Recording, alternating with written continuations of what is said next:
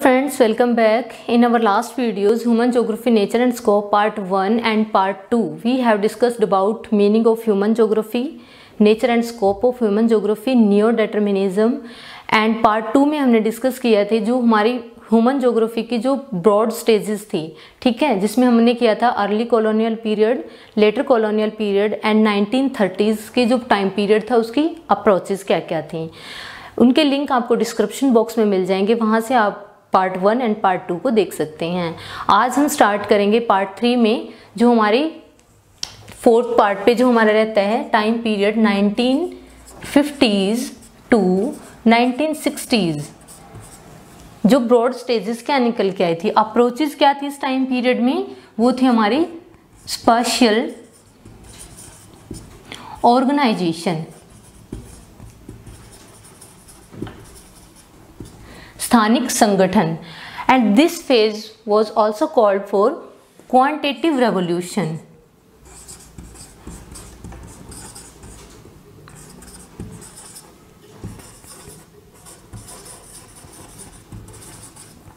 इस फ़ेज़ को क्या कहा गया? Quantitative revolution and the uses of quantitative revolution क्यों कहा गया? क्योंकि इसमें यूजेस किसके हो रहे थे? Computers and sophisticated statical tools का।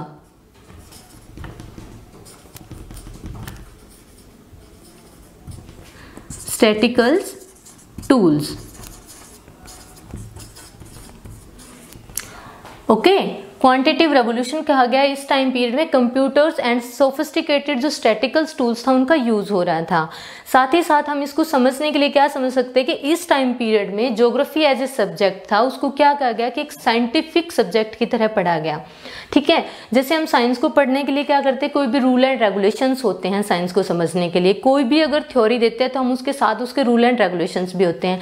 वही सेम इस टाइम पीरियड में था नाइनटीन एंड नाइनटीन में, कि कोई भी अगर किसी भी एरिया के बारे में अगर उसके फ्लोरा एंड फोना की जानकारी देता है, यहाँ या उस एरिया के बारे में कोई भी अगर थ्योरीज या जानकारी देता है तो उसको क्या करना होगा? क्वांटिटिव बेस्ड होनी चाहिए वो, कि उनके हमें एक मैपेबल जो पैटर्न्स पर डिपेंडेंट होनी चाहिए, वो इस टाइम पीरियड में बताया गया कि ज्योग्राफी एज ए सब्जेक्ट की उसको साइंस की तरह से यूज़ किया गया।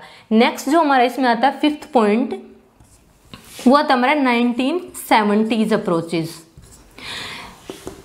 ये मोस्ट इंपॉर्टेंट टाइम पीरियड था 1970s का। मोस्ट इंपॉर्टेंट क्यों कहा गया? क्योंकि जिससे पहले हमने जो भी देखा कि ह्यूमन ज्योग्राफी को, जो ज्योग्राफी एज ए सब्जेक्ट जब हम उसको पढ़ रहे थे तो उसमें इससे पहले के जो टाइम पीरियड था, उसमें क्या बताया गया? कि उसके स्टेजेस बताए गए कि कॉलोनियल पीरियड में कैसे था लेटर कॉलोनियल पीरियड में कैसे लेकिन फ़र्स्ट टाइम था कि 1970s में कि फर्स्टली ह्यूमन बींग्स के बिहेव के बारे में, उसके वेलफेयर के बारे में बात की गई थी। तो इसलिए हम इसको मोस्ट इंपॉर्टेंट टाइम पीरियड बताते हैं नाइनटीन का। एक रीज़न और आता है कि जिससे हम इसको इम्पोर्टेंट पॉइंट क्यों बताते हैं कि इसमें थ्री जो थॉट्स निकल के आए जिसमें हम उनको स्कूल्स भी बोल देते हैं थॉट्स होते हैं, जो फ़र्स्ट था हमारा, उसमें था ह्यूमनिस्टिक अप्रोच बोल सकते हैं हम उसको ह्यूमनिस्टिक थॉट्स बोल सकते हैं। सेकंड जो हमारा इसमें आया था, वो था radical thought and third is behavioural behavioural thoughts जैसा कि इनके नाम से ही पता चल रहा है ह्यूमनिस्टिक मीन्स हम इसको क्या बता सकते हैं कि वेलफेयर एज ए वेलफेयर कि ह्यूमन बींग्स के वेलफेयर के बारे में, उनके वेल बींग्स के बारे में इसमें डिस्कस किया गया। और जो आस्पेक्ट्स दिए गए कि वेल बींग्स जो आस्पेक्ट्स के ऊपर एम्फेसाइज किया गया लेकिन जो मोस्ट इंपॉर्टेंट एस्पेक्ट्स दिए गए, वो क्या क्या थे? यहाँ पे था health housing and education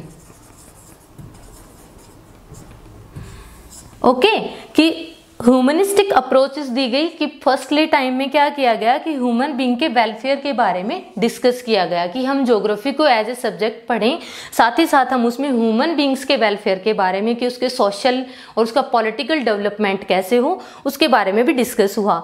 साथ ही साथ इसमें क्या बताया गया कि जो एस्पेक्ट्स दिए गए थे, कि जो डेवलपिंग के एस्पेक्ट्स दिए गए थे बट मोस्टली उनमें हेल्थ हाउसिंग एंड एजुकेशन पर ज़्यादा एम्फेसाइज किया गया था।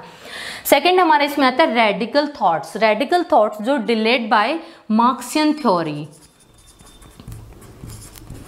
जो किससे डिपेंडेंट थे या निकले थे? मार्क्सियन थ्योरीज से निकले थे मार्क्सियन थ्योरीज क्या कहती हैं? रेडिकल यानी कि अमूलवादी, जिनको हम बोलते हैं रेडिकल थॉट्स जो निकल के आए। मार्क्सियन थ्योरी ने क्या बताया इसमें? कि इस टाइम पीरियड में इन्होंने अप्रोचेस दी कि जो भी हमारी सोसाइटीज़ में जो भी प्रॉब्लम्स हैं all problems in our societies were related to the development of capitalism कि इन्होंने किस पे बताया कि कैपिटलिज्म पर सभी डिपेंडेंट हैं। कि जो भी प्रॉब्लम्स हैं सोसाइटीज़ में जो भी प्रॉब्लम्स हैं problems like poverty and inequality वो किस पे डिपेंडेंट है? कैपिटलिज्म पे। All you know know that capitalism का मीनिंग क्या होता है? कि एक वो कोई भी एक जो हम बता सकते कि इकोनॉमिकली जो पावर होती है, उस पर किसी पर्टिकुलर वन पर्सन या एक प्राइवेट सेक्टर का जिस पर राइट होता है वो होता है कैपिटलिज्म कि इन्होंने बताया कि जो भी सोसाइटीज़ में जो प्रॉब्लम्स क्रिएट हो रही हैं, जो पावर्टी है इनक्वेलिटी जो फैली हुई है, ठीक है, उनका रीज़न क्या है कि कैपिटलिज्म की जो भी इकोनॉमिकली जो स्टेजेस हैं या इकोनॉमिक जो पावर है या जो हमारे रिसोर्सेज हैं, इकोनॉमी से रिलेटेड, उन पर किसी पर्टिकुलर वन पर्सन का या प्राइवेट सेक्टर का डिपेंडेंसी है या उनका राइट है। कि उन्होंने बताया कि अगर हम कैपिटलिज्म को रिड्यूस करते हैं, ख़त्म कर देते हैं तो जो भी हमारी सोसाइटी में जो प्रॉब्लम्स हैं, वो भी ख़त्म हो जाएँगे। तो इसलिए भी इसको इम्पोर्टेंट बताया गया। क्योंकि फ़र्स्ट टाइम यही एक ऐसा था जिसमें ह्यूमन बींग्स के वेलफेयर के बारे में बात की गई थी। थर्ड हमने बात की इसमें, जो हमारी थर्ड अप्रोच थी या थर्ड जो हमारी थॉट्स थी, वो उसमें बिहेवियरल बिहेवियरल मतलब व्यवहारवाद, कि उनके जो एक ह्यूमन बींग्स के बिहेव पे डिपेंडेंट थे। तो इसमें जो अप्रोचेस दी गई वो क्या थी? लिव्ड एक्सपीरियंस पर। लिव्ड एक्सपीरियंसेस मतलब कि एक पर्टिकुलर एरिया में जो भी पीपल्स रह रहे हैं, कि अगर हम किसी भी पर्टिकुलर वन एरिया के ऊपर अगर हम बात कर रहे हैं तो उसमें क्या कि वहाँ पर जो लोग रहते हैं lived experience were based on ethnicity religion and race etcetera कि वो जो उनके एक्सपीरियंसेस थे, वो किस पर बेस्ड थे? एथनिसिटी जातीयता रिलीजन उनके धर्म पर आधारित थे। नेक्स्ट हमने बात की थी कि 1970s की जो अप्रोच थी, उसको इम्पोर्टेंट क्यों कहा गया? इम्पोर्टेंसिस किस बेसिस पे थी?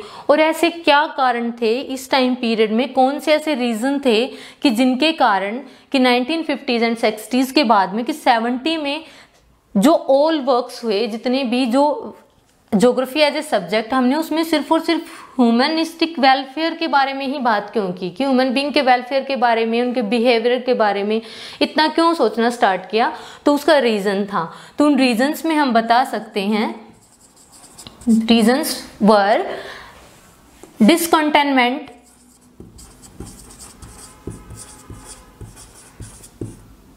discontentment with quant quantitative revolution जो किसमें थी ये रिवॉल्यूशन कब आई थी? 1950s एंड 60s में।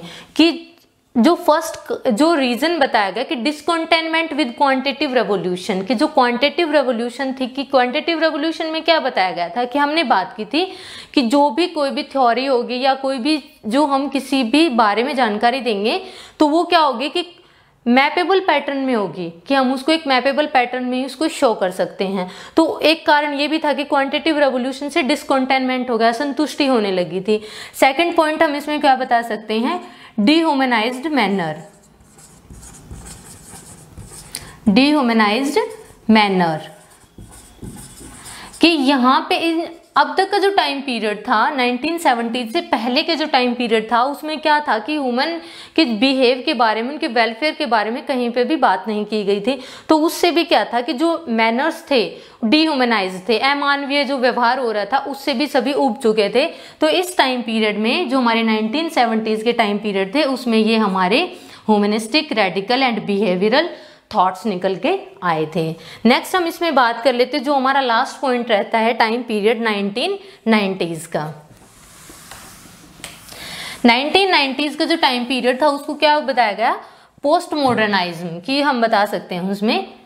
लास्ट पॉइंट हमारा इसमें आता है सिक्स पॉइंट टाइम पीरियड था इसमें 1990s का। जिसको क्या बताया गया? पोस्ट मॉडर्निज्म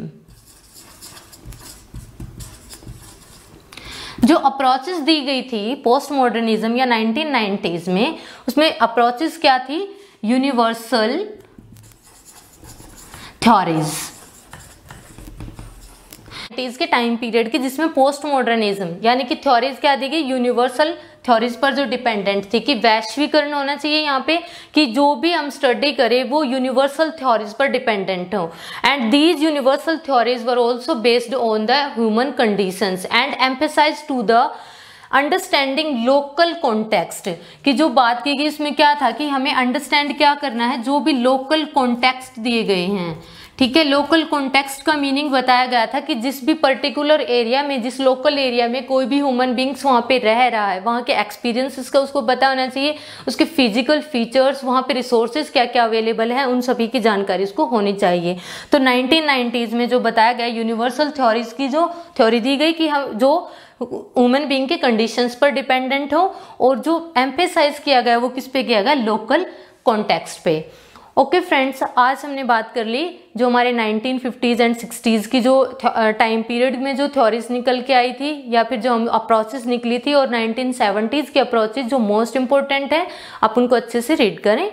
और 1990s की जो पोस्ट मॉडर्निज्म जो टाइम पीरियड था, उसके बारे में कि एज ए सब्जेक्ट जोग्राफी को कैसे रीड किया गया और हमें उसको जो जो उसके स्टेजेस जो ब्रॉडनेस जो उसमें आई, वो कैसे डिपेंडेंट थी उस टाइम पीरियड से अब तक पर। ओके? तो अब हमने लेसन जो हमारा start human geography nature and scope complete कर लिया है, ओके? आप इसको देखें, तब तक के लिए गुड बाय